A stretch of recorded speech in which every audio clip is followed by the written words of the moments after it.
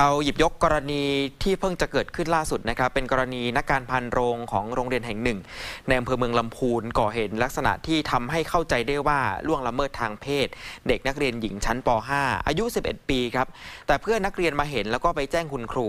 ภายหลังพันโรงเนี่ยมอบเงิน 30,000 บาทให้กับผู้ปกครองเป็นค่าทำขวัญ อ้างว่าแค่จับศีรษะเด็กด้วยความเอ็นดู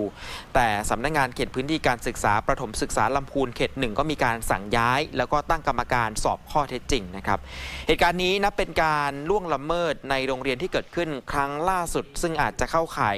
สิ่งที่เรียกว่า grooming ครับหรือว่าการสร้างความเป็นมิตรตีสนิทให้เด็กตายใจก่อน เพื่อล่วงละเมิดทางเพศในภายหลัง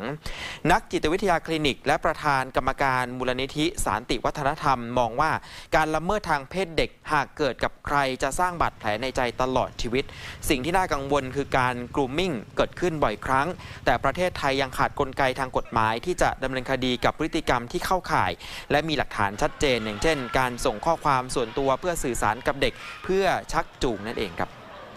อย่างเรื่อง grooming เนี่ยในประมาณ 5-6 ประเทศในโลกเนี่ยเขามีเป็นกฎหมายละ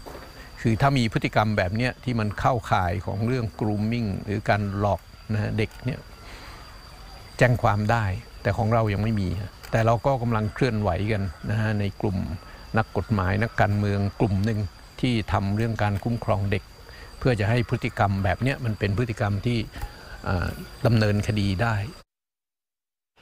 นอกจากนี้สิ่งที่นักจิตวิทยาคลินิกเสนอให้เร่งจัดทำในโรงเรียนก็คือแนวทางการปฏิบัติตัว หรือว่าจรรยาบรรณบุคลากรที่ชัดเจน เพื่อป้องกันการล่วงละเมิดทางเพศ เช่นการไม่อยู่ตามลำพังกับนักเรียน โดยที่ไม่มีผู้ใหญ่คนอื่น ๆ อยู่ด้วยนะครับ รวมทั้งการไม่สัมผัสนักเรียนในลักษณะที่ไม่เหมาะสม หรือว่าส่อไปในทางชู้สาวครับ โดยสิ่งที่สำคัญเนี่ยก็คือการสร้างความเข้าใจถึงลักษณะของการกลุ่มมิ่งให้ทุกภาคส่วนเข้าใจตรงกัน เพื่อช่วยกันเป็นหูเป็นตาไม่ไม่เพิกเฉย ไม่นิ่งเฉยเมื่อพบเห็น ซึ่งจะช่วยป้องกันการล่วงละเมิดทางเพศได้ในระดับหนึ่งครับ